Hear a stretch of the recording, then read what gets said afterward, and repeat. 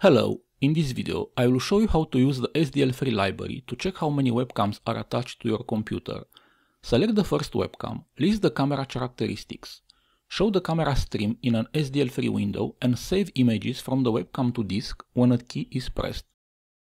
While I've recorded this video on a Windows PC, the same code should work on Linux and macOS assuming that you've installed the SDL3 library and you know how to compile and link a C program.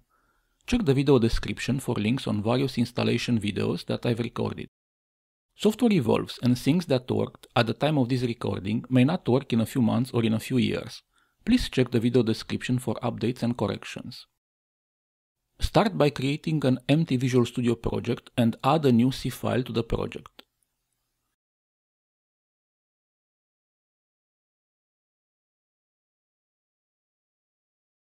Next, Go to the project properties and select the latest C and C++ standards. This will let us use modern C programming. By default, the Microsoft C compiler only let you use some standard C functions like the ones for printing to strings or writing to files. Instead, it will suggest the use of the optional functions from Annex K of the C standard. Since I wanted this code to work on all operating systems and with most modern C compilers, like GCC and Clang, I will disable this Microsoft requirement.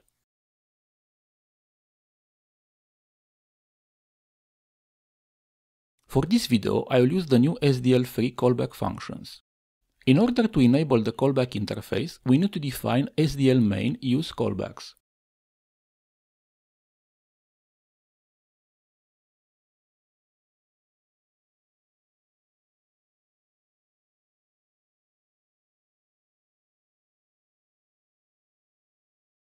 The first callback function required by SDL3 is SDL appinit. This function is called only once at the start of your application. It is meant to be used for anything that needs to be initialized at the start of your program.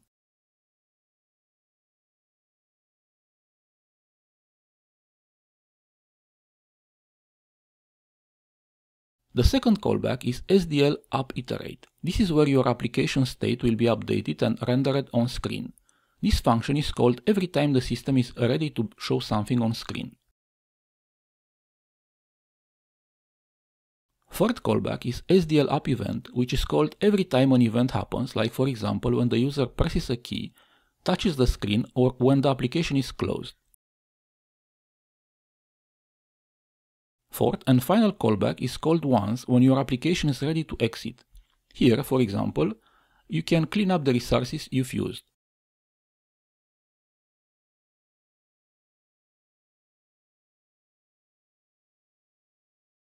Next, I will define a struct that will store our app state. This will let us have a clean code without the need to use global variables to pass the app state between the SDL callbacks. For now, we'll store a window, a renderer, and the width and height of our application.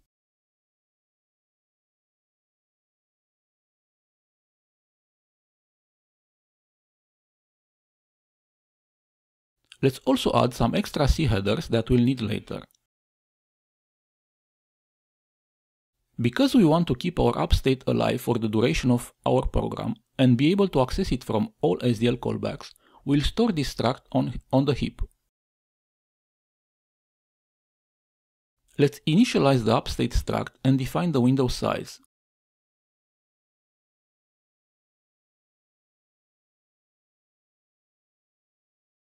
SDL3 will let us hook our own app state to the void pointer called app state they've predefined for us. This will be passed to all the other callbacks so we can access it if necessary. Make sure that you free the app state memory when the application is stopped.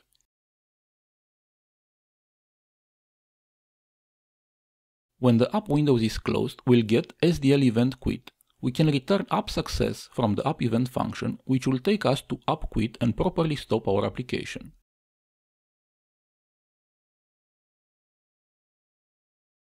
Next, let's initialize the video and camera systems for SDL. In case of error, we want to inform the user and print the internal SDL error.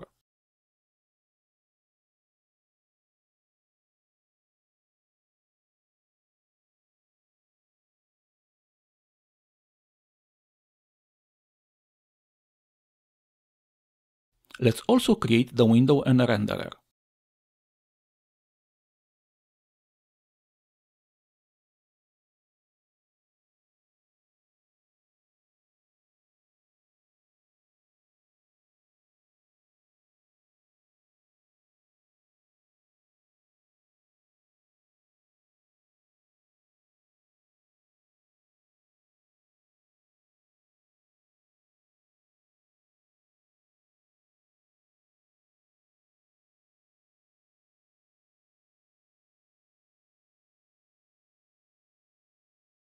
As a side note, SDL3 will take care of releasing the memory used by the window and renderer, so we don't have to release this ourselves.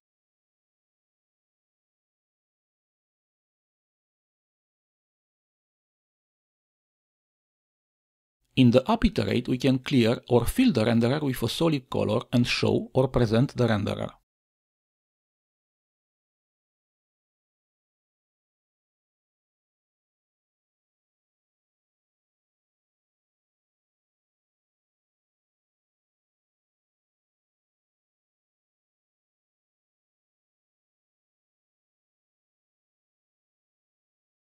Let's check if we've made any error.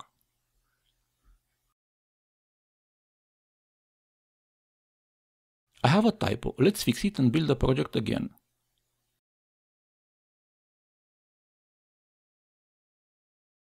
It works. So now we have an empty SDL window.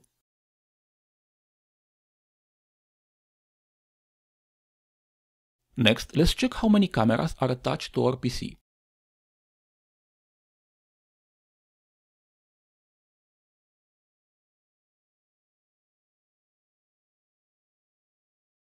The number of available cameras is saved in camera count, which we want to keep in our app state.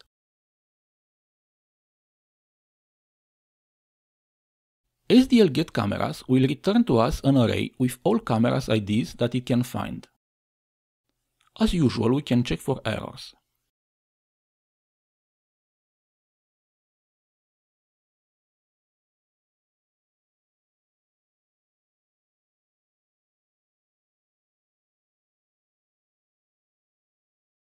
If all is well, we can print the number of available cameras.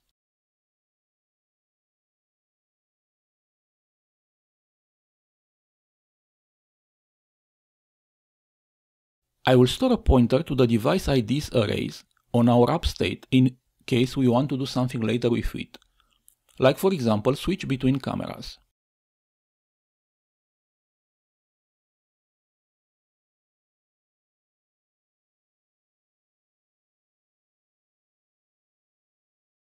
We need to free the memory used by the device's IDs before our app is closing.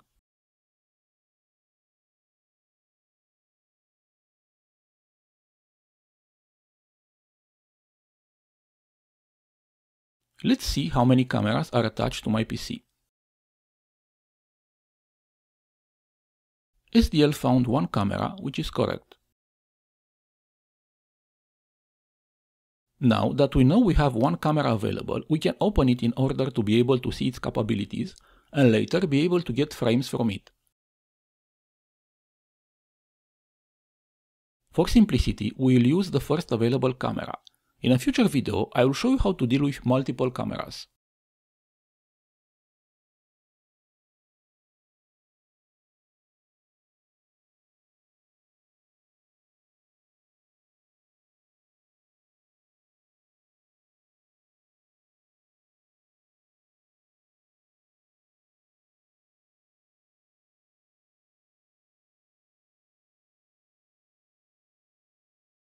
Let's close the camera before leaving the application.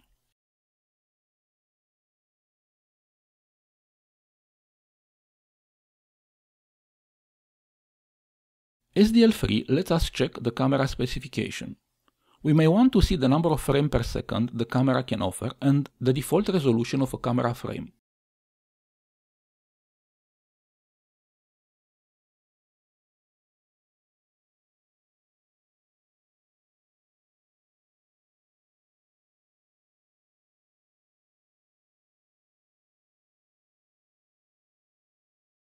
My camera supports 40 frames per second and it has a 1080p default resolution.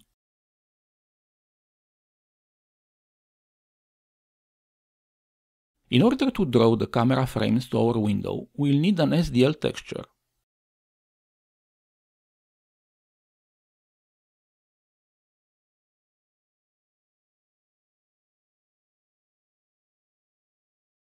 SDL3 gives us each frame as an SDL surface which is stored in our computer memory. If we have a frame, we want to copy this to our texture, which is stored in the video memory of your computer if you have a discrete GPU.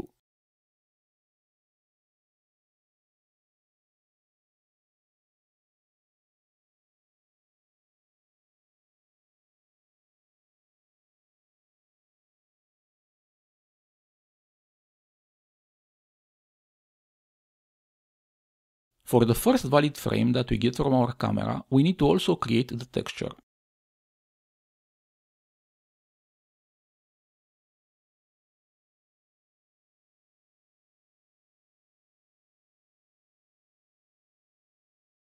Because we intend to update the texture for every valid frame we get, we'll use a streaming texture access.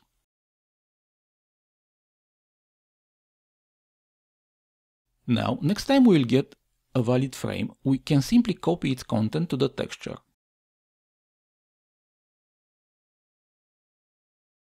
At this point, we can also release the frame since we don't need it anymore.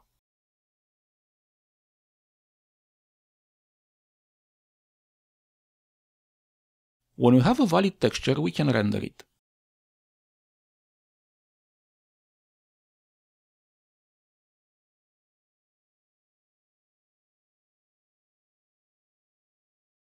Let's also make sure we destroy the texture before exit.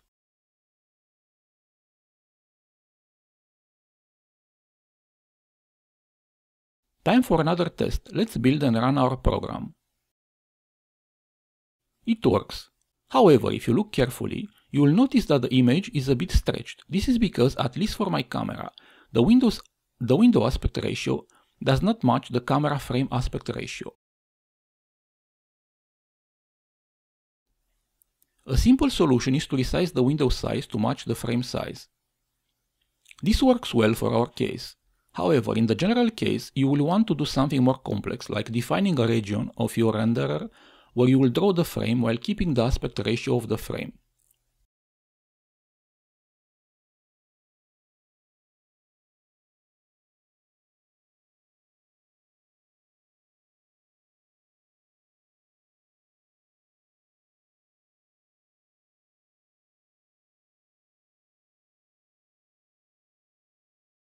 Looks better, the image is not stretched anymore.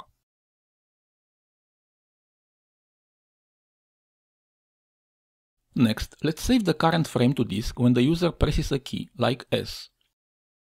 For this, we'll add two new variables to our app state, a flag for taking a screenshot and a counter for how many screenshots we took.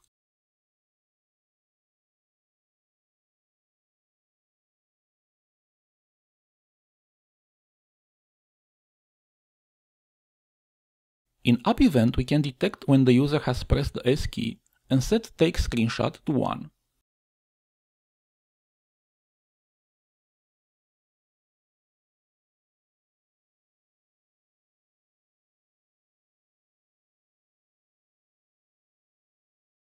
Back to app iterate. If take screenshot is 1, we'll save the frame to disk.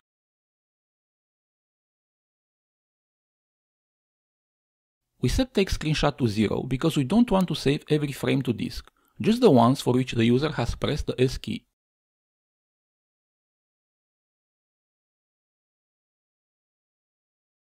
By default, SDL3 knows how to save BMP images to disk. If you need other image formats like JPEG or PNG, you can use the SDL image library.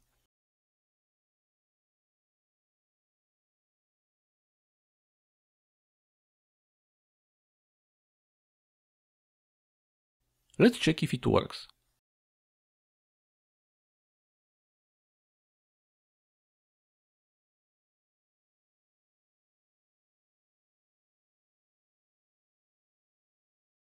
A small problem with our code is that we'll overwrite the previously saved image. Let's fix it by adding a counter to the name for each screenshot.